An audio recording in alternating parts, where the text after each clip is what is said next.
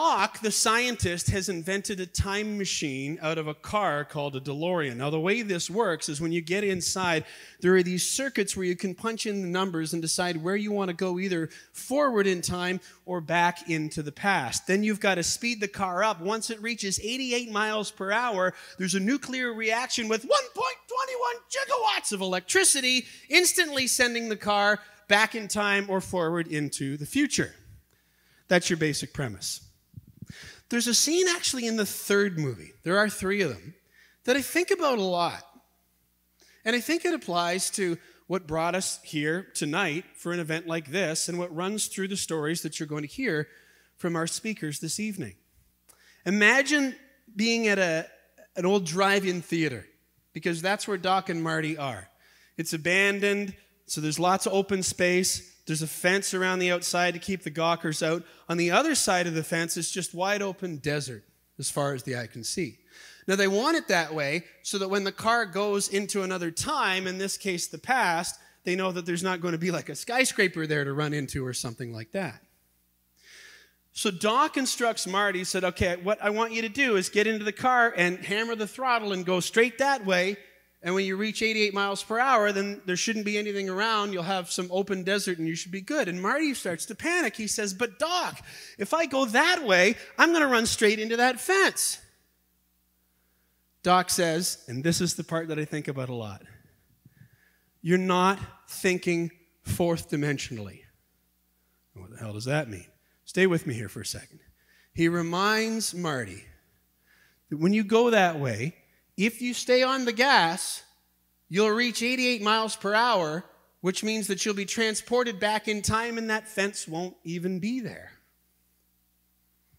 How does that apply to what we're doing? What are the fences that are keeping us all from mashing the throttle toward what we most desire and deserve? Doubt's a great one. Sometimes they're things that we're dragging along with us from our past. Sometimes it's things that we've made up, stories of things that we think that we're going to face in the future. Whatever it is that we want to call them, it keeps us from really going into what we want because we're not thinking fourth dimensionally. I've learned through trial and all kinds of heaps of error, those fences tend to dissolve or resolve themselves, but only if we run straight at them.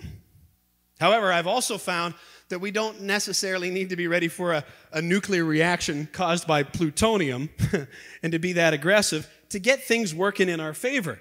We can just recognize what's important to us and acknowledge them. I'll give you a real world example. I'll use one of my own stories as an example. And for this, we've got to go back into the past to around 2010.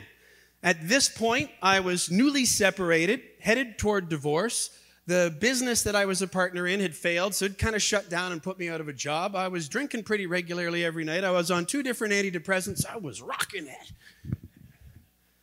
Shortly after that, that I met Caroline. No wonder, eh? What a catch.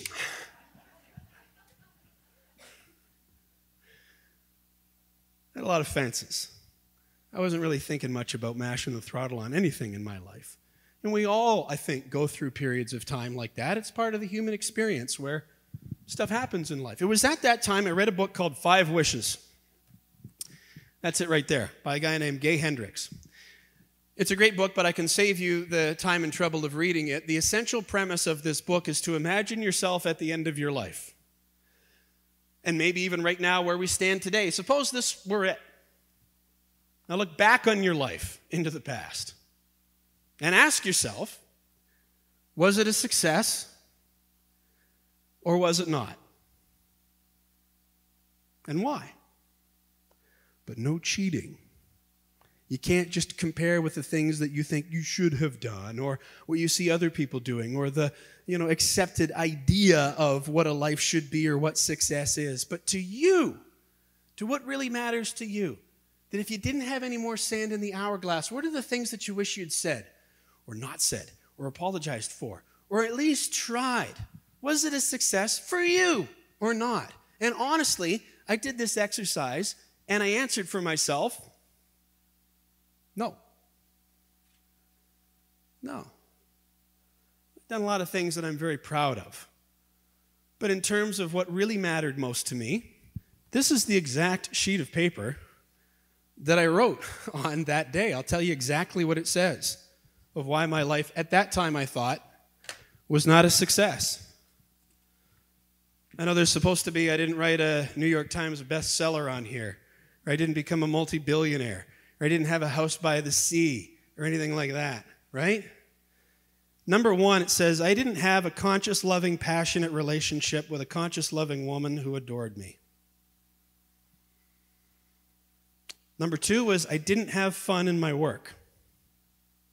Number three, I didn't fully express and share my creative gifts. Number four, I wasn't fully present and happy in every moment.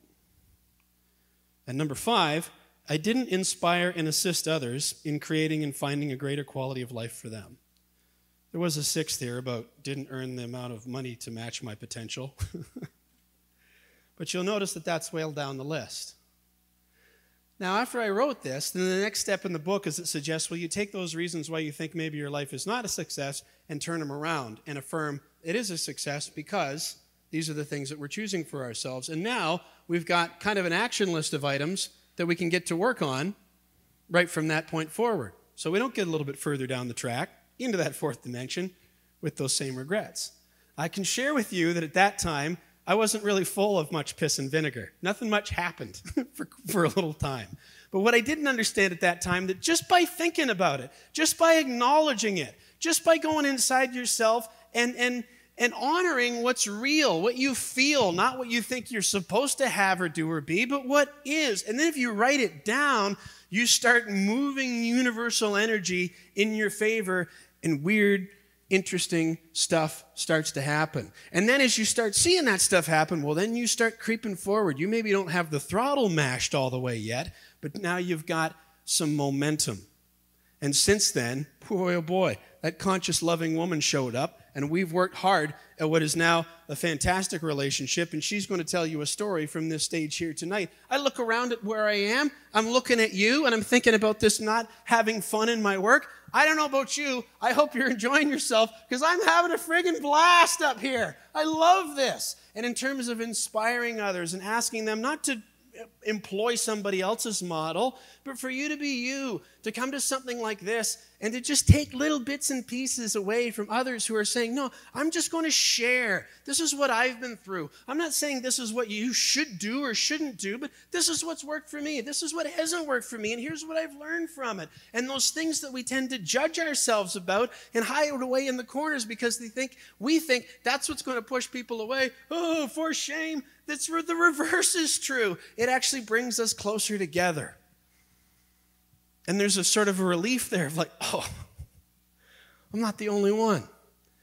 And it's my hope that as we continue to do this kind of thing, that we leave these events just feeling a little bit more filled up with not necessarily plutonium, but whatever fuel that you choose for the rest of the week, the rest of the month, however long you want to see, so that when those fences do show up, you can maybe acknowledge them, but realize by the time I get a little bit further down the line, that thing might not even be there. There are some fences that some of the people that are going to talk with us here tonight have overcome, not knowing what their biological family is, overcoming a lot of trauma from the surroundings that they grew up in, getting healthy and helping other people choose a healthy lifestyle, being given a diagnosis that's basically at first blush a death sentence and every single one of these people has looked at that fence and mashed the throttle just the same.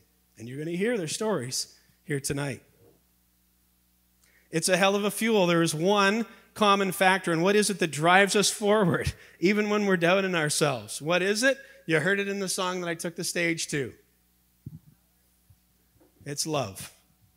Fear is firm, but love is stronger. Go ahead and test it and let me know how it works out. Choose love when you can of yourself, of what you do, of how you do it, of the people around you, and it's going to be a pretty magical thing. Do that. Otherwise, Darth Vader is going to come down from the planet Vulcan and melt your brain. That's also from the movie, by the way. That probably sounded really threatening if you haven't seen that and didn't understand. All right, I want to introduce you to the people who are here to share their stories with us tonight and celebrate the power of love. So, we're going to go on a little bit of a time traveling adventure to hear a little bit about the past and get a glimpse into the future. Are you with me? Yeah. All right. Thank you. So, let's introduce them. Noah, time circuits on, please. By the way, once this Mo Mondays hits 88 miles per hour, you're going to see some serious shit.